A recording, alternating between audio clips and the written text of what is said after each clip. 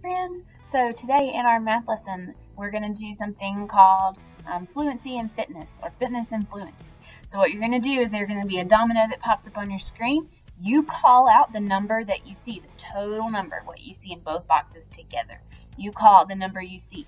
Every once in a while, it will bring you to another slide that tells you an exercise to do, like sit-ups or jogging in place. While that slides up, you do that exercise until the slide goes away, and then you call out the numbers again as they go through. Have fun!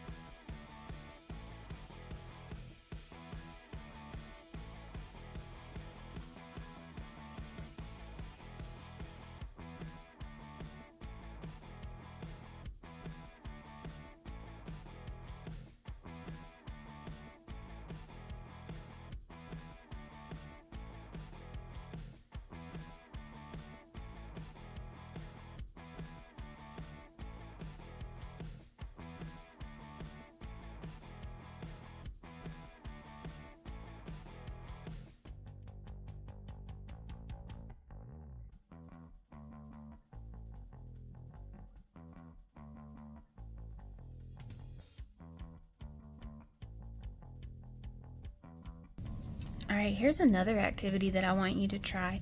Um, if you have just regular notebook paper at home, or maybe you have a piece of colored paper at home, um, I want you to cut it up into 20 pieces, and you're going to write your numbers 1 to 20 on each card. Now, if you don't have scissors or paper or anything at home, I will just want you to take one of the notebooks or the paper that you have at home, and I just want you to practice starting at the number 1 and just count and write your numbers in order all the way to 20. So I would keep going, but that's what you're going to do. So if it helps you to count out loud while you write, do that. Go one, two, three, four, five, and so on until you get all the way to 20.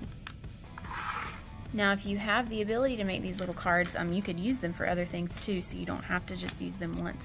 Um, so make these little cards, cut them up into 20 pieces, and write one number on each one and then I want you to work on putting those numbers in order from 1 to 20. So 3, you count out loud, 4, 5, 6, 7, 8, 9, 10, what comes next? Yeah, 11, 12, move them this way so we can get them all on the screen. It's a lot of numbers. 13, 14, 15, 16, 17, 18, 19, 20. And if you want a real challenge, start at 20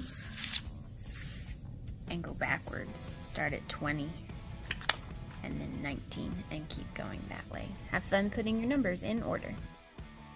Alright friends, you have an assignment in your Dreambox account.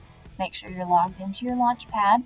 You'll click on that Dreambox button um, and you should see a section for assignments and you click on that and you do have one assignment to complete um, for our math lesson today. If you don't see the assignments in there, you can just complete whatever lesson you're already working on in Dreambox.